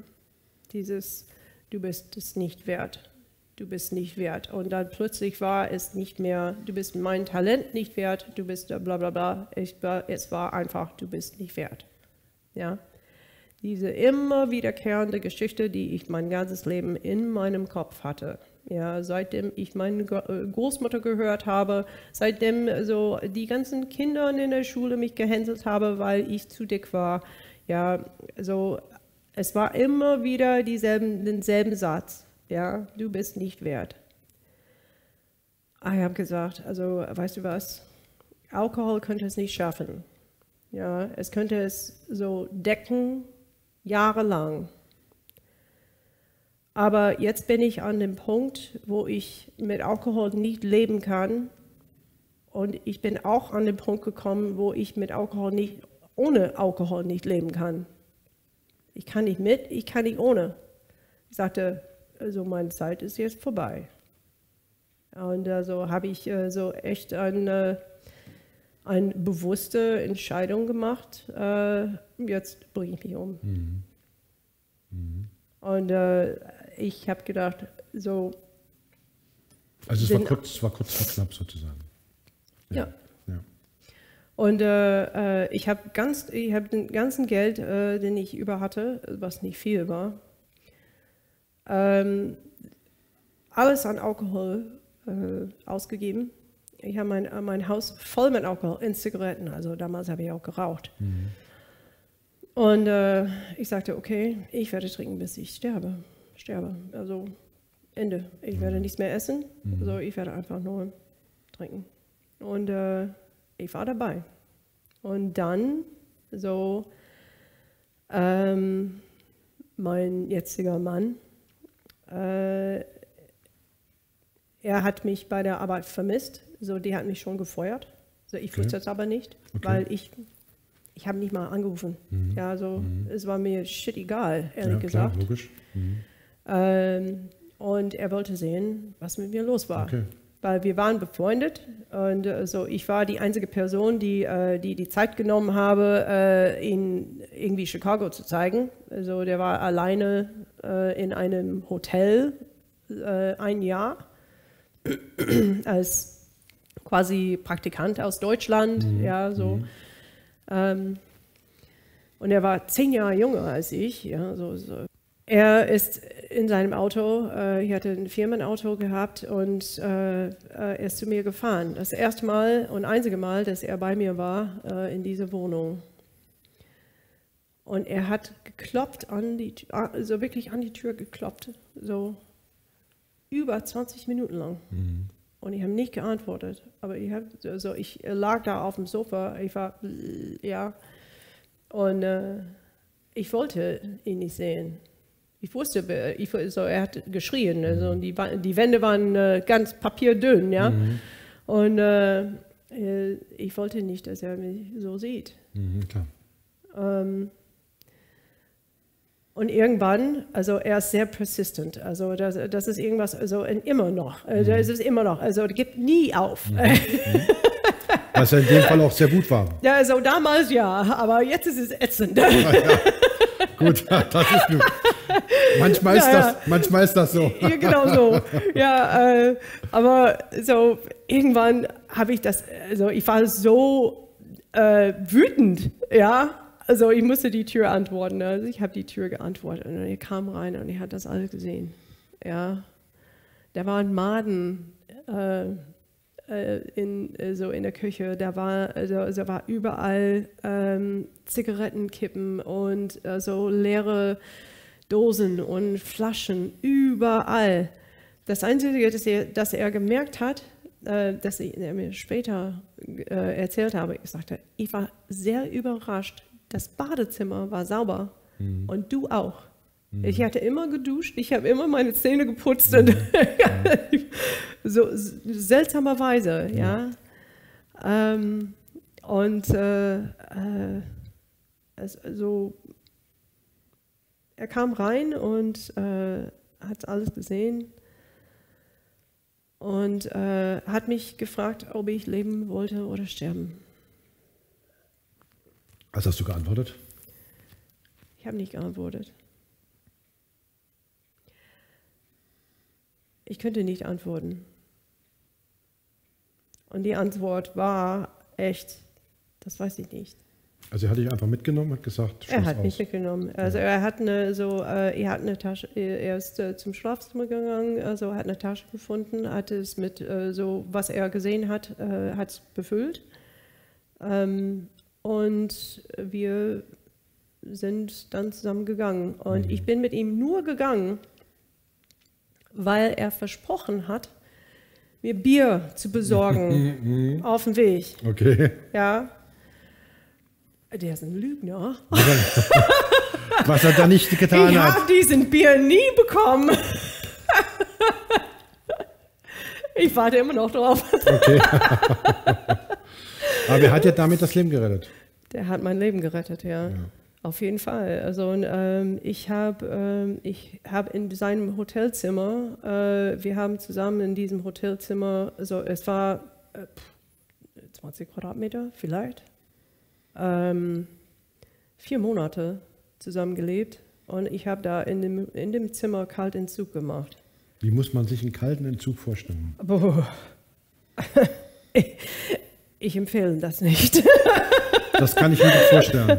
Äh, na, eigentlich, also ehrlich gesagt, es ist sau, sau gefährlich. Es ist super gefährlich. Also ich, ich hätte sehr einfach sterben können. Also und ähm, heutzutage sagt mein Mann auch, der sagte, boah, so das war echt. Hast du alles mitbekommen? Was hast du alles? Äh, Ähm, ich äh, im Nachhinein. Also äh, vieles habe ich, äh, habe ich ni- nicht mehr gemerkt, also dass mein Mann das später mir erzählt habe. Ähm, ich bin also an dem ersten Nacht, in der ersten Nacht, also ähm, er, er, hat überhaupt kein, sowas hat er nie im Leben gemacht. Ja, also der kommt von einer su- saureiche Familie, also und war immer Mamas Kind und äh, hat nicht mal seine eigene Wäsche gewaschen. Also er hatte keine Ahnung, wie man sich kümmert um eine andere Person. Und ja, und das äh, dann plötzlich hat er das gemacht. Also er kann es auch nicht sagen heutzutage, warum er das gemacht hat. es war manchmal ist das, einfach manchmal nur das so. so. Manchmal ist das so. Ja, es ist so. Ja. Und äh, ja, lustigerweise, äh, also er, er musste rausgehen, um äh, Tücher zu holen. Also er brauchte mehr Tücher. Und äh, das erste war, ähm, ja, er, er muss mich sauber kriegen. Ja, so, äh, ich, so ich war ja relativ sauber, aber ich habe gestunken, ja, so äh, und war mh, nicht so schön, sage ich mal. Und ähm, er hat mich rausgezogen und in der Badewanne gesteckt. So, also, d- wir waren kein Paar, wir waren nicht zusammen oder so irgendwas. Also äh, der hat es einfach gemacht, ja, und haben ihn in die Badewanne gesteckt. Er kam zurück und ich war unter Wasser. Super, dann rettet dich einer vom, vom Selbstmord und du ertrinkst in der Badewanne. Ich in der Badewanne. Oh, super. Das ist ja. Das ist, er sagte, ich- er kam rein und sagte, oh shit, ja. Versuch mal, mich zu retten. Ja, ja, und äh, so, und ich war, äh, ich habe ähm, das ganze Wochenende lang, das war ein Freitagabend, oder Freitagnachmittag eigentlich, also, und Samstag, Sonntag ähm, äh, war ich komplett ohne Alkohol. Ich konnte nichts essen. Ich könnte kaum was runterkriegen, also äh, trinken. Also äh, ich habe versucht, immer wieder Wasser, ein bisschen Wasser zu trinken, ein bisschen mal so. Essen ging gar nicht. Ähm, äh, äh, es war, und also ich habe nur Na klar. Tremors gehabt. klar. also ich habe Dämonen gesehen, also über meinen Kopf, also im Fliegen, also und rot und also mein Gott, also was, was ich erlebt habe, boah, das äh, äh, möchte da möchte mein, mein schlimmsten Feind nicht wünschen, ja, so das ist echt. Aber irgendwann war es dann vorbei. Irgendwann war es vorbei. Und mein Mann ist ein, ein Urdeutscher und sehr deutsch. So in dem, dass er sagte, okay, jetzt gehst du wieder zur Arbeit und bettelst deinen Job zurück. So, und natürlich, ich wollte das gar nicht machen. Ich sagte, wie peinlich, wie furchtbar, so, wie viel muss ich mich demütigen, also, äh, demütigen, also, und also, ich sag, er sagte, es muss gemacht werden. Da musst du durch, ja. Du musst durch. Ja, du musst also. Mein Mann hat, äh, hat, hat mich, mir, mir, mir so viel beigebracht, ähm, also erwachsen zu sein, obwohl er zehn Jahre jünger ähm, ist als ich. Der ist mindestens 10, 15 Jahre im Voraus, also mit äh, wie man lebt. Die, die haben einen Spruch in, in den AAS, in den anonymen Alkoholiker. Der so, die haben einen Spruch, wenn du anfängst zu trinken, du, du aufhörst, so ähm, hörst du auf zu wachsen. Ja, erwachsen zu werden. Ist tatsächlich so. Ähm, weil ich war 19. Und da bist du stehen geblieben. Da bin ich schon geblieben. Ja. Ja, ich, äh, ich könnte so wirklich komplex äh, so erwachsene Sachen so tun und machen und so, aber wie man, wie man lebt und, lebt und so, wie man äh, so, ähm, Verantwortung, äh, Selbstverantwortung äh, hat und übernimmt. Und ähm, ja, manchmal braucht man jemanden, der einen an die Hand nimmt und sagt, so, jetzt ist Schluss. Ja. Jetzt machst du das und das. Und ja. Hä? Wieso einfach die, die, ja. die ganz, ganz einfache Sachen. Ja, das ja, ist also, manchmal. Äh, Leben ist nicht immer einfach. Nein, äh, also ist es auch nicht. Also, also der hat mir so viel gebracht, beigebracht und so äh, und das, ähm, die, die sind, was ich jetzt heutzutage denk, äh, daran denke, als als deutsche Qualitäten. Mhm. Ähm, ja, Pünktlichkeit habe ich immer noch eine sehr großes, ein sehr großes Problem damit. aber es gibt Schlimmeres. Äh, das stimmt. So, aber dieses ähm, äh, wie heißt das, wenn, wenn, du, äh, wenn du sagst, ähm, wenn du versprichst, irgendwas zu machen und dann machst du es tatsächlich. Ja? Mhm. Weil ganz oft in Amerika, du sagst, ja, ja, also, mm, also diese so, Floskel, Floskel, so, Floskel ja. so eine Oberflächlichkeit habe ich ja, ja. 100% verloren. Ja, also, also ich bin nicht mehr oberflächlich. Es gibt also, doch viele, die sagen so Standardspruch, wie geht's dir? Wir machen so, interessiert aber gar nicht. Ja, genau. das ist eine Frage, niemand muss so die Frage. da kriegt die Rohr voll. Nein. Ähm, also aber solchen Sachen, wenn ich sage, ja, okay, ich komme zur Arbeit, also ich also wenn ich wenn ich irgendwas zu tun habe, dann tue ich das auch und also und ähm, ich gebe mein Bestes mhm, ja. äh, und ich nehme Sachen ernst, die ich früher nicht ernst genommen mhm. haben. Mhm. Und äh, ich, ich, ich habe so viele Sachen gelernt, nicht nur von ihm, aber mhm. so äh, mhm. von ihm Besonderes äh, in dem Bereich. Äh, ähm, und ich bin tatsächlich wieder zurück zur Arbeit gegangen und ich also Toll heutzutage sage ich mal, frisst den Frosch. Mhm. Also wenn du, wenn, äh, wenn du einen Teller vor dir hast und es gibt ein schönes, saftiges Steak, ja, so drauf und ein Frosch, die, die da daneben sitzt, was isst du zuerst? Ja. Mhm. mhm. Und äh, ja, so ich habe jetzt äh, gelernt, äh, naja, ich fresse den Frosch. Hm. ich fresse den Frosch zuerst und dann kriege ich das, Steak, das, Steak. das, Steak. später. Aber, Aber, dadurch habt ihr euch ja verliebt ineinander. Ja.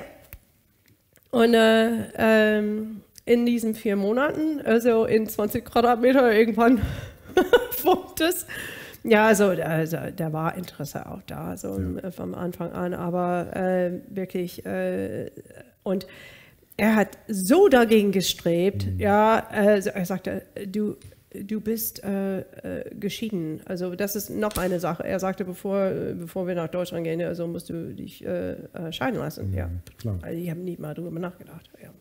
Hast du jemals gezögert, äh, nach Deutschland zu gehen? Oder hast du gesagt, ja, das ist eine Chance, die ich wahrnehmen muss. Wer weiß, was sonst noch kommt? Weißt du, äh, ich war immer, wie ich sagte, so am Anfang, ich war immer abenteuerlich in meinem Leben. Mhm. Es war noch ein Abenteuer in einerseits Andererseits, ich habe gesagt, was habe ich zu verlieren? Natürlich, nichts. Also ich hatte gar nichts. Ich ja, hatte wirklich null. Ja, ja.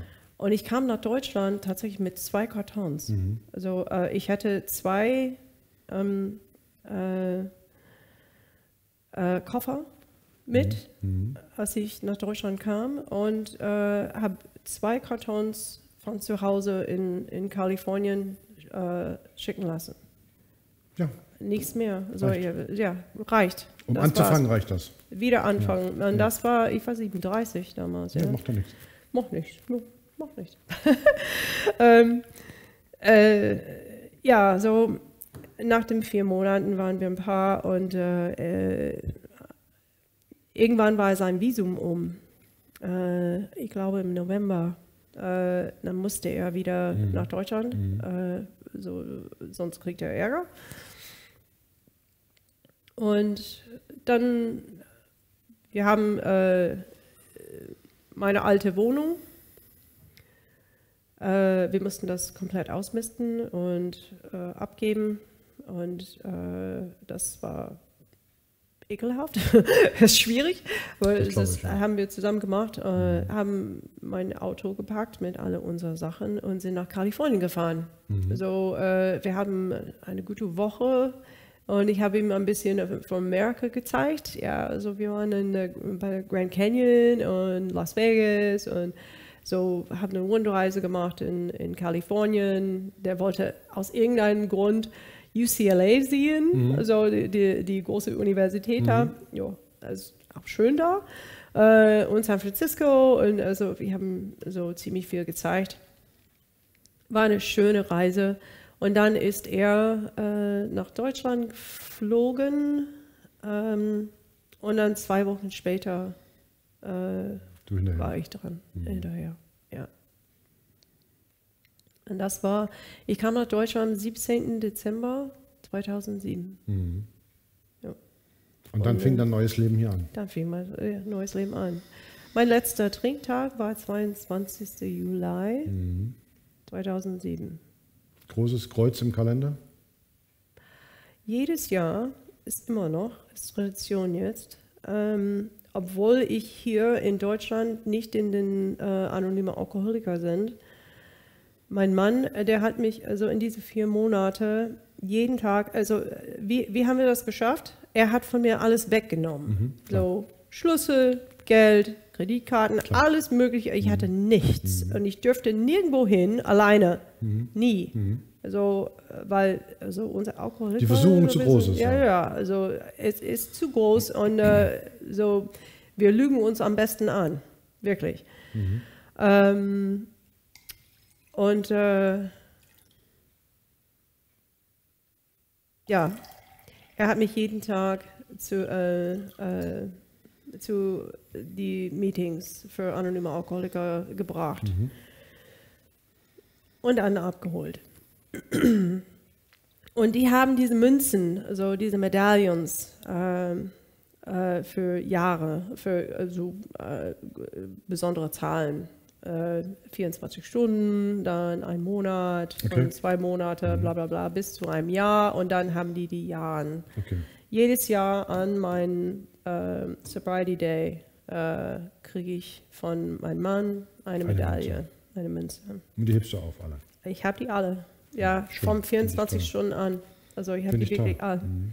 Ja, ich habe keine verloren. Also ich, ich habe so jetzt, äh, dieses Jahr hat er für mich äh, eine Holzbox äh, gekauft, so mit Plastik, äh, so für, für äh, ich glaube, Münzensammler. Münzsammler, ja, ja Münzsammler wo man die Münze oder so. Kann, ja. Genau, aber so, die sind groß genug, mhm. also die, die ganzen mhm. Medaillen mhm. passen rein. Und jetzt äh, habe ich die alle. Du hast ja Hast du damals, als du äh, in dieser Alkoholgeschichte warst, überhaupt mal daran gedacht, eine Familie zu gründen, Kinder zu bekommen? Äh, ich Richtung? wollte nie Kinder haben. Also ich wollte wirklich nie Kinder haben, äh, weil ich wollte die, äh, ich wollte Kinder so mein Leben und meine so äh, mein Probleme, meine Probleme aussetzen.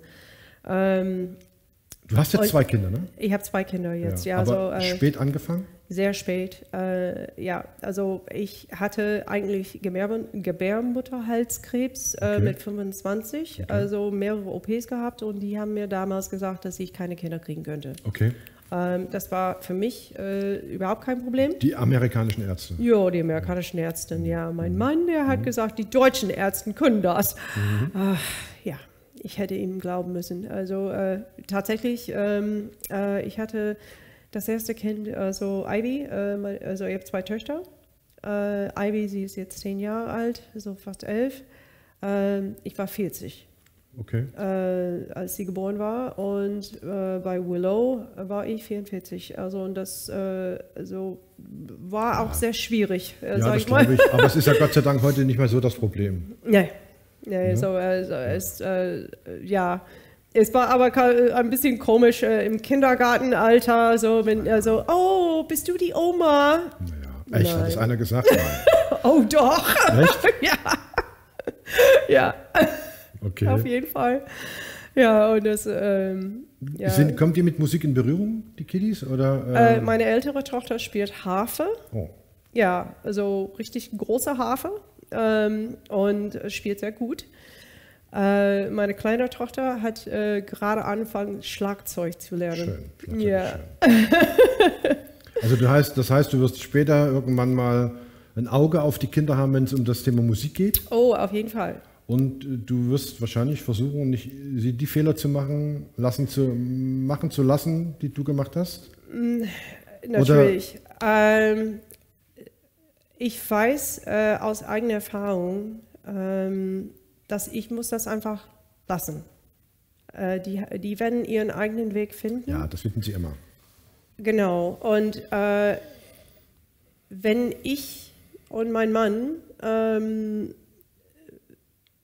ja, man macht nie alles richtig, man macht immer Nein, Fehler als, als Elternteil. Also es ist, äh, da, da, ja. Das wäre ja, das wäre ja, wäre ja fatal, wenn man alles richtig Ja, machen würde. aber so, wenn die Grundlage da ist, so wie man lebt, und wenn du das vorlebst äh, für den Kindern, äh, was ein gutes Leben ist, und die immer lieben und immer akzeptieren, was die tun wollen und wie die sind und akzeptieren für sich selbst, wie sie sind, die werden nie drin geraten. Ja, also Äh, die, die werden es nicht nötig haben. Das ist es wohl. Also die werden es nicht nötig haben. So natürlich werden die trinken. Ich hoffe, ich hoffe, dass die das genießen können und Spaß haben können. Ja, am Anfang kannte, könnte ich das auch. Aber ähm, so, da muss ich echt vorsichtig sein. Ich darf nichts sagen und werde ich auch nicht. Wissen die, was Mama für Musik macht? Ja, natürlich. Ja. Die sind im Video. Die waren im ersten Video. Aber das ist auch. ja nicht das Einzige, weil Beast 51 ist ja nicht das Einzige, was du machst. Nein. Äh, also Beast 51, also das ist das neue Projekt. Genau. So, dann haben wir B51 North und da habe, also, habe ich mehrere Songs geschrieben. Und so, jetzt haben wir schon zwei aufgenommen ähm, und zwei Videos, äh, zwei andere Videos haben. Ähm, es gibt mehrere Songs. Äh, äh, man muss eigentlich die Zeit äh, Sind haben. die veröffentlicht? Kann man die sich irgendwo anhören? Nein, noch Nein, nicht. Äh, leider noch nicht, weil also äh, ich bin auch voll berufstätig, ja, Mhm. so als IT-Administrator. Dann- es ist es ist schwierig, so die alles unter einem Hut zu haben. Ja, so ich gebe auch Klavierunterricht und ich gebe Gesangsunterricht. Ich singe in zwei Chören. Ähm, ja, also Gibt es in diesen ganzen äh, Formationen, den ganzen Bands, die du jetzt gehabt hast, eine, wo du sagst, ja, das ist, war mir am wichtigsten, das hat mich am weitesten weitergebracht? Oder sagst du, oh, Band ist Band, Musik ist Musik? ist Nee, egal? also die, die sind immer sehr wichtig. Also äh, äh, Band ist Familie. Band, Band ist nicht nur Musik. Band ist Familie. Und äh, die Band in Bersenbrück natürlich, die haben also meine Erfahrung mit denen, so die, hat mir hat mich am weitesten gebracht. Welche war das? Äh, die heißen Feeling Good. Feeling Good. Ja, die, die existieren noch, äh, aber Corona ist natürlich hat seinen Ton Klar. gemacht. Jo, Alles die Richtung? so das ist Death Metal. Death Metal, okay. Das ist richtig Death Metal. So, Okay. wenn du Death Metal hören möchtest, Nein. also die haben, ja, genau. Ich weiß, dass es ist, aber es ist nicht meins. Aber also ich muss, also ich bin, äh, ich bin verpflichtet zu sagen, dass die ein Album auch ra- raus haben. Das heißt, äh, ähm, äh, ähm, oh, wie heißt das denn? Ähm, Indicted for Misconception. Also, Okay. also, also ein geiler Ti- Titel, ja, also Okay. richtig cooler Titel. So, ähm, die Musik ist, also wenn du in der Richtung magst, äh, die Musik ist echt cool. Und Sven äh, schreibt das alles selbst. Und äh, äh, die, die ist, ich habe so viele hervorragende Musiker kennengelernt, äh, auch in diese, in diese Gegend hier. Wahnsinn. So, was für Talent es gibt hier. Ja, es gibt viele tolle Talente, Ja. die eigentlich ihr ganzes Leben lang unentdeckt bleiben. Was ich schade finde. Wie ich. Ja, das kann sich ja, das kann sich ja vielleicht auch durch Halbzeitgedanken ganz schnell ändern. Ja, äh, gucken wir mal. Schön wäre es natürlich. Wissen deine Kinder äh, von dieser Geschichte? Ähm, ich sag mal, äh, die Gro äh, meine große Tochter, also groß ist äh, übertrieben, die ist zehn. Ähm, sie weiß es jetzt. So, äh, vielleicht, äh, ich glaube, sie hat das äh, von mir erfahren im Sommer, in, so, äh, in den Sommerferien oder so kurz am Ende, am Ende des Sommerferiens. Also, weil die, die Kinder, die sehen das natürlich, äh, äh, Papa trinkt, so, also es, wir haben, wir haben so viel Alkohol in unserem Haus, es ist Wahnsinn. Aber trotzdem, ja, so. Hast du äh, keinerlei Ambitionen mehr? Nein, nein, also, Toll, ich, also ja, ähm, es hat wirklich Klick gemacht bei mir und also ich habe wirklich gar keine Lust mehr. Das ist super. Ähm, es ist wie, also ich, ich handle das wie eine Allergie. Mhm. Ähm, wenn ich eine Erdnussallergie haben würde, esse ich kein Erdnussbutter und esse ich keine Mhm. ja, Erdnüsse. das ist so eigentlich ja auch ein richtiger Weg. Klar. Das macht eigentlich Sinn, ja, oder? Ja, macht Sinn, total Sinn. So, ne? Ja, Ich also. das gut, dass du da so, einen Weg gefunden hast. Absolut. Ja, also ich, äh, ich werde, also äh, ich habe keinen äh, kein Todeswunsch heutzutage. Mhm. Also äh, wenn ich eine Erdnussallergie haben würde, so ich gehe nicht raus und äh, esse Erdnüsse. Klar. So, außer wenn ich ins Krankenhaus laden möchte. So, das Ja. ist genau dasselbe für mich, ja. Ja. Aber also ich muss, ich, ich benutze diese Metapher jetzt nur, um das jemand anders zu erklären. Ich muss das nicht mehr für mich haben. Ja, Ja, so, ja. Äh, so äh, das, das passiert nicht mehr. Aber du sagst schon Leuten, die sich in so einer Situation befinden, holt euch Hilfe, macht nichts allein oder wie, was gibst du Leuten, die äh, dem Alkohol zugeschrieben sind, äh, mit auf den Weg, wenn es um ihre weitere Zukunft geht oder wenn es darum geht, wegzukommen? Oder kann man das nicht pauschalisieren, weil es zu individuell ist? Es ist beides. Es ist, es ist natürlich individuell ähm, und es ist pauschal. Es, ist, es ist wirklich beides. Es kommt darauf an, wo du sitzt. Weil wenn du die Person bist, die betroffen ist, nur du bist wichtig. Ja, und du fühlst dich so alleine, wie niemand anders in der Welt das erlebt hat, was du gerade erlebt, äh, äh, erlebst. Und das muss auch in Betracht genommen werden, weil so natürlich die Probleme von diesen eine Person sind, sind auch äh, Unikaten. Ja, weil Klar. er ist ein Unikat. Sicherlich, klar. Er, sie, was auch immer. Ja. Ähm, die müssen gesehen werden. Äh, es kommt darauf an, warum die angefangen zu trinken haben, was, was so das ist sehr unterschiedlich. Also äh, normalerweise ähm, die Geschichte von Männern ist anders als die Geschichten von ja, Frauen. das ist klar, das stimmt. Ja. Ähm, da müsste die, also eine ganz, ganz klare Trennung da.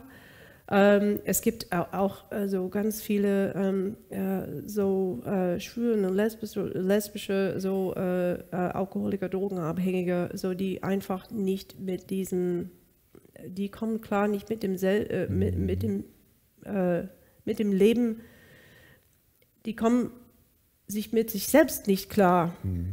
Die können Also sich selbst nicht akzeptieren. Also und das, äh, dieses, dieses Akzeptanz. Ja. Ähm, also es, äh, es, Ich weiß, was du ist meinst. so also schwierig. es ist dann schon ähm, im Grunde genommen so, dass man sagt, ohne Hilfe ist es schwierig rauszukommen. es ist sehr schwierig, aber man muss bereit sein, um diese Hilfe anzunehmen. klar, ja. Äh, ich habe so viele Leute äh, in meinem Leben gesehen, die äh, äh, die Hilfe geholt haben und dann wieder rückfällig sind und dann Hilfe wiedergeholt den wieder natürlich klar, man muss, wieder. das ist mit allem so mit dem Rauchen so, Ja. mit dem Abnehmen, wie auch immer, keine Ahnung, du musst eine Initialzündung haben, Ja. die einem sagt, jetzt musst du was tun, jetzt musst du was Ja, ändern. es gibt auch, ein, also äh, die AAs, die sind voll mit Sprüchen. Ja, Mhm. die haben Sprüche ohne Ende. Und also eine von meinen Lieblingssprüchen dann ist also I am sick and tired of being sick and tired. Mhm. Ja. Und äh, das ist äh, das ist auch, wenn man bereit ist an diesem Punkt. Man muss diesen Tiefpunkt in seinem Leben erreichen, wo man denkt, Um es geht zu, nicht um wieder mehr. aufstehen zu ja, können. Genau. Aber wenn diesen Tiefpunkt nicht erreicht ist, Mhm. es gibt immer tiefer. Du hast da in den 15 Jahren, äh, die du dann in deiner, kann man sagen, Alkoholsucht verbracht hast, Ja, gar keine Musik mehr gemacht. nein. Und du bist dann ja nach Deutschland gekommen. Ja. Hast du Musik wiedergefunden? Ich wollte es nicht. Ich hatte Riesenangst, ähm, weil das war ähm, für mich äh, die große Enttäuschung in meinem Leben, die ich, ich, ich könnte mich selbst nie vergeben, dass ich das losgelassen habe oder dass ich das fallen lassen habe und komplett weggeworfen. Alles, was ich gelernt habe, war weg. Ja. und äh, das, das war emotional hoch 10. für mich, ich, das Thema war verboten, äh, aber wie ich sagte, mein Mann ist sehr persistent, mhm. also der sehr, mhm. äh, und ähm, er sagte, nein, also wir wohnten damals in Bielefeld, also äh, die erste Stadt, wo wir gewohnt haben. Und äh, äh, er sagte, du gehst zum Chor. Und äh, ich sagte, nee, äh, nee du, du, gehst zum Chor und äh, lernst andere Leute kennen. Also es war die perfekte Gelegenheit, ein bisschen mehr Deutsch zu lernen. Also ich war auch hier die ersten sechs Monate in der Sprachschule Deswegen kann ich überhaupt Deutsch sprechen. Mhm. Und äh, äh, er sagte, so es ist wichtig, dass du rausgehst äh, und kommst unter Leute. Also der hat damals auch erkannt, ich bin einfach ein sozialer Mensch. Mhm. Ja, es, es, ist so. Also ich, ich bin ein Rudelmensch, ich muss zusammen mit anderen sein. Und äh, äh, tatsächlich, ich äh, habe einen sehr, sehr schönen Kirchenchor da angeschlossen äh, und habe wieder angefangen zu singen. Also ich musste mich alles wieder beibringen. Äh, die Muskeln waren total weg. Also, ähm, Aber aus diesem Kirchenchor und aus dem Singen ist ja heute zum heutigen Punkt Beast 51 entstanden. Ja, das stimmt. und äh, was ist so Beast 51? Ah, so, äh, ganz lustig. Also ich, äh, ich war ähm, das erste Mal, dass ich äh, wirklich Rock'n'Roll gesungen habe. Also ich war in Bersenbrück. Ähm, ich war immer klassisch unterwegs, habe ganz oft in der Kirche gesungen und so für Hochzeiten und, äh, und äh, Beerdigungen und Taufen, was auch immer. Und eine Rockband probte gegenüber von uns. Äh, und äh, die haben irgendwie ihre Sängerin äh, wollte was anderes machen und die waren ohne Sängerin. Und äh, er hat von mir gehört, sagt, könntest du dir vorstellen, da, da, das zu machen? Ich sagte, ja, aber ich muss meinen Mann fragen. Ist klar.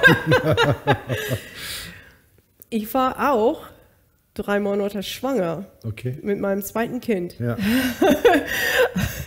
ich sagte, ne, so in, in so ein halbes Jahr muss ich eine Pause machen, ja, so, weil dann, dann werde ich ein kleines Kind haben, aber tatsächlich, also ich, äh, mein Mann sagte, ja, natürlich, also und äh, er fand das auch cool. Ähm, und dann hat es ein Jahr gedauert, bevor ich richtig Rock'n'Roll singen könnte.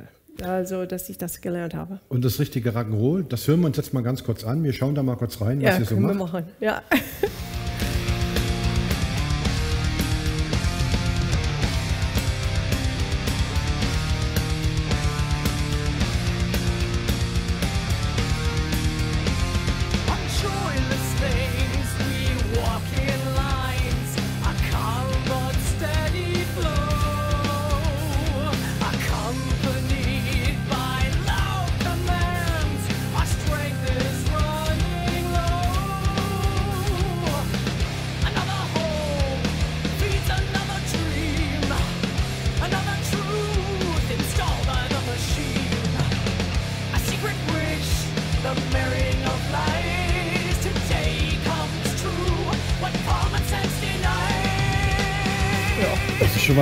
als klassische Musik. Ja, ein bisschen, ja. Das war mein erster, auch äh, dieses Lied äh, war mein erstes Attempt, äh, Heavy Metal zu singen. Okay. Ja, also ich war früher mit Blues und Rock und, äh, und Soul äh, unterwegs und das, äh, das war ein erst, auch ein Erst für mich.